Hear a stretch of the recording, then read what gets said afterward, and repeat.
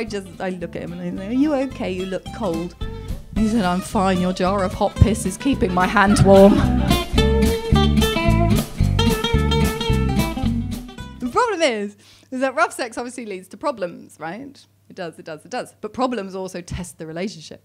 Now, I got something which I'm going to say, and now I can see there are quite a few women in this room, so to relax, I got cystitis. Okay, I heard it. Did you hear a couple of women going, ah? No, say that word. Some women genuinely believe when you hear that word, a nasty little elf runs in the room and jabs you at the piss hole with a needle. It's okay, you're all clean. Um, what happened was um, we weren't very careful. You know, when you have sex, you have to have a reasonable level of hygiene. We didn't.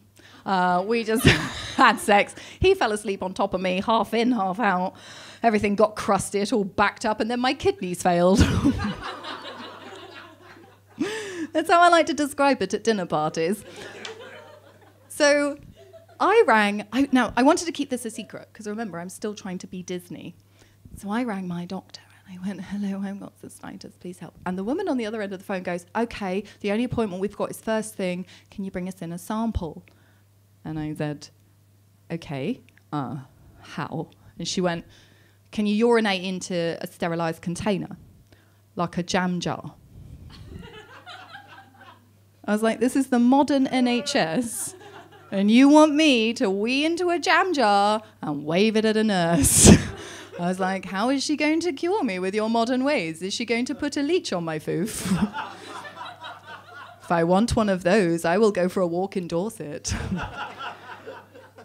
and plus, I thought I don't I don't want to be rude, but I don't know if I trust the authority of the receptionist. Like, I don't know if she's there on the other end of the line playing some kind of weird office top trumps where she's kind of there going, Marie, Marie, get the chart. I've just made a woman with cystitis piss into a jam jar.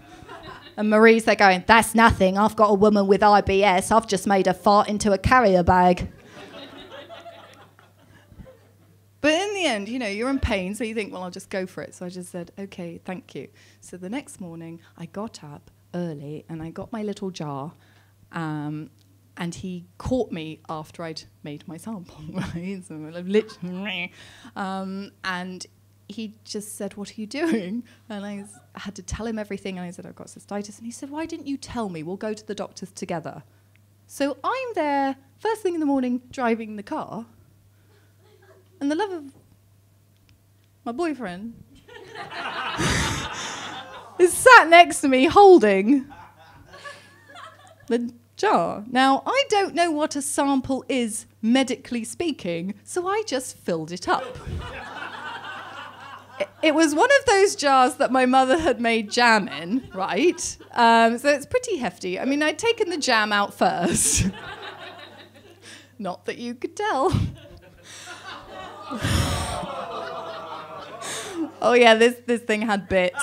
It had bits, and it was like this pinky yellow, just disgusting, right? And I'm looking at this horrid spectacle, just like, really? Are we ever gonna make love again? If is he ever gonna respect me or love me? And in the end, I don't. I want to say so much to him. I want to say, look, I'm sorry, I'm a real person. And in, in the end, I think, well, I'm Titanic. It's all gonna fail. So I just, I look at him and I say, are you okay? You look cold. He said, I'm fine. Your jar of hot piss is keeping my hand warm. By the way, darling, you might want to take the label off. You're about to hand in some plum and ginger jam. we get to the doctor, right? We get to the doctor. I say, Give me the jar, sweetie. And as we're about to walk in, I look through the glass doors and I can see all these people. And there's like families and frail people. And I think, Nobody needs to see this, right? So I do this. yes, I hide it in my coat and I go in because I'm being socially conscious. And I sit down and he sits next to me. The woman goes, Diane Spencer. Now, I assume this is the person I've been talking to on the phone. So I get up and go, Hi, I've got cystitis. like I'm selling it to her. She takes one look at this and screams, Oh my God, get it off the desk! And everybody looks around and I go, No, you told me to do this. She goes, Oh, why would I tell you to do that? It's unhygienic. And she gets this tiny little pot that's like this big and she puts it next to me. She goes, You've got to do it in that. And I went, Okay, okay. So I unscrewed the jar, right? it was like I'd released wasps into her face. She just goes, Ah, no, you've got to go do a new one. there's a toilet around the corner. I was like, okay, okay.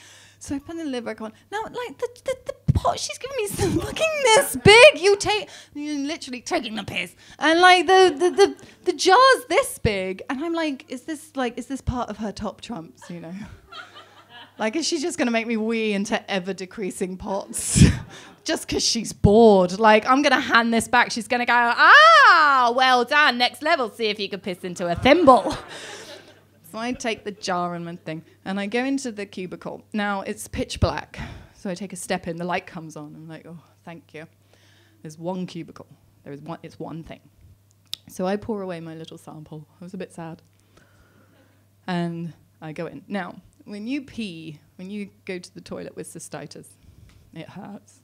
It hurts so much. It is an eye-crossing, finger-clenching pain when you wee, right?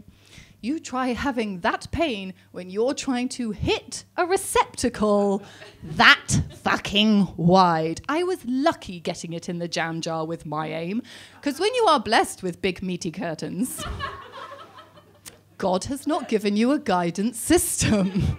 Most days I sit and I hope.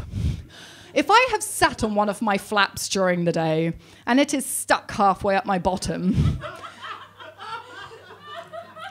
and I am not aware of this, and I start to pee, due to the surface tension of liquid, the urine will grip the flap and it will ride halfway up my butt cheek before anything falls in the toilet. So I'm there bent over in searing pain, scraping a sample off my own ass, and then the light went out. Because it's a motion sensitive toilet. Insert your own pun. And uh, so I start waving at Jesus, and I'm like, Hi, Jesus, it's me. I know I'm usually on the roof, but right now I'm stuck in the toilet and the light's gone out. Can you help me, please? And when Jesus switches the light back on, I have got half my sample in this stupid little pot. The rest of it in my haste to alert Jesus to where I am. I've flicked it up the door, and there's even a little bit on the ceiling, and it's just pinky yellow awfulness and I I don't know what happened really like in real time. I just remember mumbling to myself I didn't touch it. That's what I'm saying. I just left it. I washed my hands. I didn't do it. I didn't do it. It wasn't me. I didn't do it. I'm sure it was there when I went in. And I went up to the reception and put my stupid pot down. And then as I went to sit down he gets up and goes 2 minutes babe and walks into the one cubicle bye. I'm like, oh well, at least he's got a story to go out on, you know. Do you remember that time I dated that weirdo who pissed in jars? Oh. That'll be me! and then he comes out and he sits next to me and says, Babe, did you see the piss up the door? and I said, Oh, yeah. I mean, you hear these things about the NHS, but you don't realize how bad it is till you're actually here, you know. And then he went, was it yours? and you know when you want to lie to somebody, but you don't make it up quick enough, and they're watching you, your face, as you're lying in your own mind, and you're kind of going, oh, and I sort of went, oh, yeah.